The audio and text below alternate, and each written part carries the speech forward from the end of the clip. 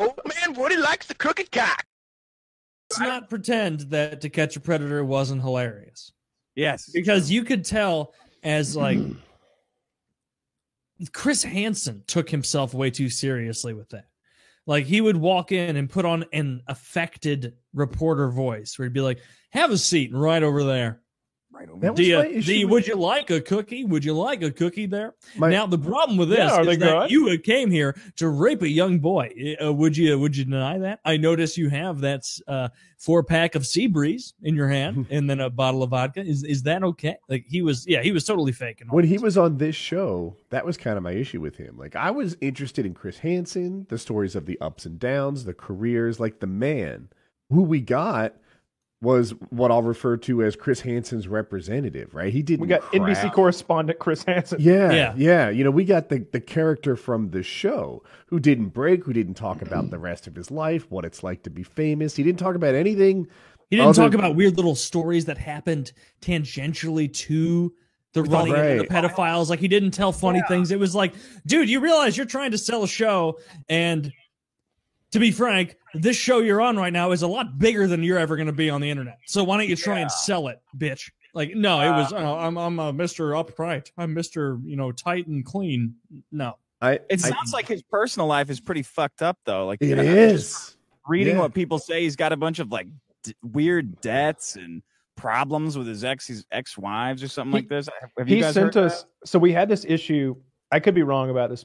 oh, I got the cup still. Yeah, I, I want to say he had to cancel on us, and uh, and we had built it up like, hey, Chris Hansen next week, and that taught us a lesson. Like we never like do that now, or, or at least Yeah. I don't. I, I, I think Yeah. I, I think that's pretty true. We we, We, we try not pretty to. Pretty much avoid that. If yeah. somebody's coming next week, Fowler we don't say anything because we never know when like like like we've known Anthony was going to be on tonight for about a month. We didn't say anything because maybe something happens and Anthony doesn't come and everybody's let down. But Chris was going to come on and he couldn't make it. What's that look, Taylor? What happened? I was joking because I I said on stream like days ago. Oh, because people home- were like, "Is Anthony coming on?" And I was like, "Yeah." oh, you're a real piece of shit. So people were already asking. It got out somehow. so he uh he had to cancel on us, I think, and to make it up to us, I thought it was pretty cool. He sent us these personalized coffee cups with his face on them, and it says something like "PKA, have a seat right there," and uh, and we were all like, "Ah, we were kind of miffed at you, but this Huh. this eight dollar cup really Oh, does solve cheap. everything." Yeah, right. Oh, yeah, I, I- honestly, it did. It was, yeah, it yeah. was the- I had a real thought that problem counted. with my relationship with Chris Hansen until the coffee mug, at which point it was all forgiven. Turned out he ordered like 5,000 of those or something and never paid the person who made them. I bet Yeah. Taylor's getting his. I... Our cups are technically evidence. oh, that's interesting. Yeah, he never paid the guy. Everybody. yeah, he stiffs people, I guess. Um, and he's also had a few people kill themselves because of his show. Yeah, Now you can de- you can debate that all you It want. might be like, one. Is it a few? It's at least two that I know. of. Okay. Uh, okay. One was like a local politician. I'm gonna say he was 45, and Mhm. another was like a very young guy. Like he was like 18 to 22, somewhere in that general range. Yeah. And uh, and I just remember, I think he came in wearing a cowboy hat or something like that. And uh, and, and Chris was like, "Well, what's you know? Why don't you watch someone your own age?" He's like, "I'm ugly, and I'm a nerd." I think And it was I think it's a kind of common thing when someone gets caught for pedophilia to consider suicide as a way out. Oh yeah, Yeah, like I a lot of mean, it because there's not much coming back from that. It's a, it- you literally have to change your name and move to Alaska. is it the worst social sin? It's the Like, worst. Is it worse It's than worst. murder? It's worse than rape. It's worse than murder because you, You hear somebody killed somebody and you're like, why? Sure. But if somebody says, oh yeah, he fucked. Uh, uh, uh, let, us talk about actual pedophilia because there's a definition. I'm not going to go into it, but fucking a 17 year old is not pedophilia. It's it's underage sex. But actual pedophilia, It's called someone- like uh, There's a term. Ebphilia or something. yeah. There's a term Not for when you're it. 17, it's not. That's like teenager, isn't it? Actually, 17 is legal uh, as long as you Yeah. don't record anything. But but you know what I'm saying? but it Like a make it very like mature- uh, one of those 15 year old girls that looks like an adult, right? Like, Exactly. Yeah. That is not that's legal. pedophilia. That's That is That's underage. legal.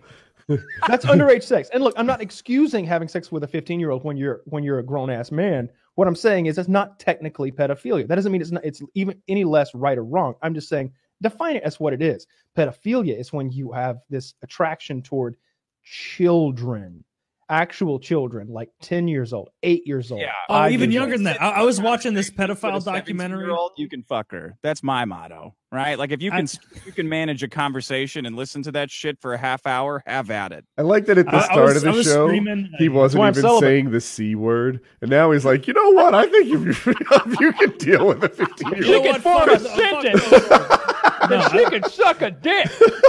I, I was streaming a pedophile documentary because that's what I've been doing on my Twitch channel, streaming a bunch of weird ass conspiracy and, and serial killer documentaries. A lot of fun, by the way, Taylor Murka. And th- one of the pedophiles was asked by an interviewer during the show where they're like, So where's the uh where's the area, you know, where you're, you know, kind of the age range that you're most attracted to? And this guy was like wearing a yellow turtleneck, being like, Well, the the ages I most find myself drawn to. I wouldn't use the word attracted. It's an energy, not a sexual thing. I would say uh, between two and four. And it was like, you need to be killed. yeah. You can't, you can't be going around attracted to two to four year olds. well, different two and four year olds mature at That's different rates, we- Taylor. And That's something that is something we cannot abide. You know, Brooke what do you do with those people? Four looked at least seven. no, she was uh you know the old saying, pussy goes rotten at five. And so-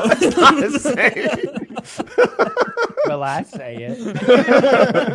well, it's something I've That's so weird. It's a it's a literal Nambla documentary. I'm hoping it'll catch on. I'm just it- and then this I yeah, that guy he was he went up to a kid in the middle of a parking lot and ask the kid like, "And what's your birthday?" And and what else can you tell me about yourself? And then like him leaving that conversation where the kid's like, "Oh yeah, like April uh, seventh, uh, goodbye." Like leaving, he's like, and I went up to Thomas, and he was so forward. He was so happy with. You would not believe the energy with which this child shared these details with me, and and he was flirtatious in a way that you cannot understand. He Now, I will say this: I like to be middle of the road on things. I like to like like like. this is not one of those issues. Doesn't apply here. No, Thomas. no. You sure? I'm sure sure. that- I'm sure. You, You, sure that be, uh, Thomas didn't have a little twinkle in his eye for this gentleman? maybe he had a little, uh, a little, uh, you know, sparkle of endearment. Who knows? maybe maybe he'd like it if uh, we maybe we zip these uh these two sleeping bags together.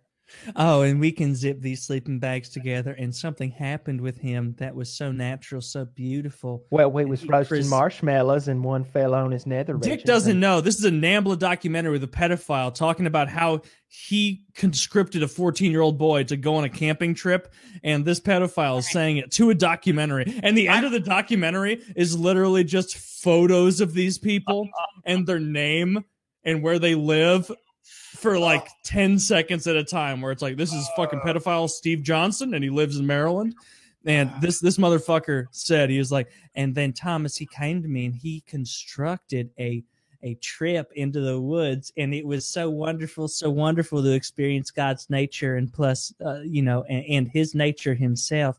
And he invited me to zip our our sleeping bags together. And that's what he did and as we were laying there that night, he ah. presented himself in a way that was so seductive and so natural to me. And I can say that things happened that evening and that there was no lubrication required.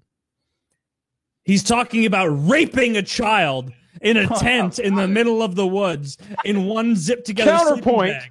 Counterpoint. When you were 14 year old, years old, Taylor, you were probably playing some hockey, right? Palling around with your friends, When I was 14, I was big enough to beat the shit out of that dude. right? right? if, if if if that fella taking you out in the woods, you'd have only presented yourself if you were actually interested. Oh, of And- course, because that guy takes to mean presenting yourself as turning away from him in the night because you're afraid. ah, I ended on that note. I love the That was the wordplay. best shit. I've ever heard.